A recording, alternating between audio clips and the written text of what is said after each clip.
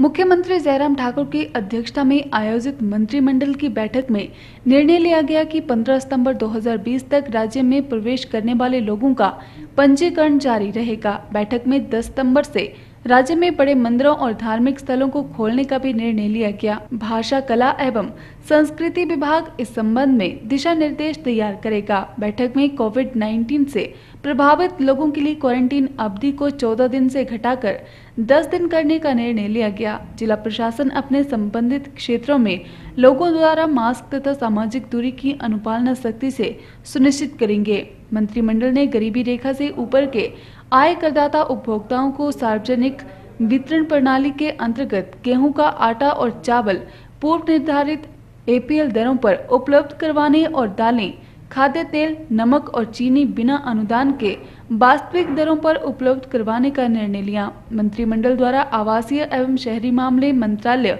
भारत सरकार और राज्य सरकार के बीच बहन योग्य किराए के आवासीय परिसर योजना से संबंधित समझौता ज्ञापन हस्ताक्षरित करने का आग्रह करने का निर्णय लिया गया। इससे शहरी प्रवासियों और गरीबों को बहन योग्य किराए के आवास के सतत परिस्थिति की तंत्र बनाने में सहायता मिलेगी और आत्मनिर्भर भारत अभियान के तहत सबको आवास उपलब्ध करवाने का लक्ष्य हासिल करने में भी मदद मिलेगी।